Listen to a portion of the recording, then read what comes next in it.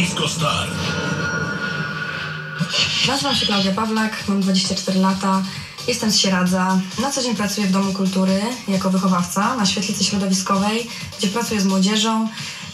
Aktualnie jestem świeżo upieczoną panią magister. Moja przygoda z muzyką y, zaczęła się, kiedy rodzice po raz pierwszy wzięli mnie na próbę y, zespołu pieśni i tańca Sieradzanie, gdzie oboje tańczyli. Później w szkole podstawowej jakieś występy i w gimnazjum poszłam na prawdziwe lekcje śpiewu, gdzie już chodziłam przez 4 lata.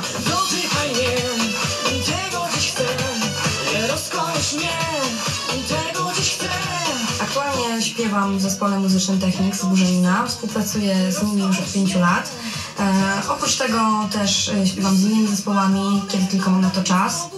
Do moich pasji poza muzyką należy taniec. Ten właśnie taniec Bollywood trenuję od miesiąca. Już niedługo będę mistrzynią, zobaczycie.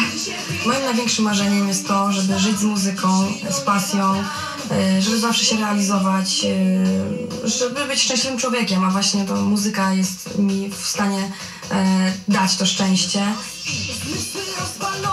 Czy mamy przed sobą Disco Star? Trzecia edycja Disco Star, sobota godzina 18. Tylko w Polo TV.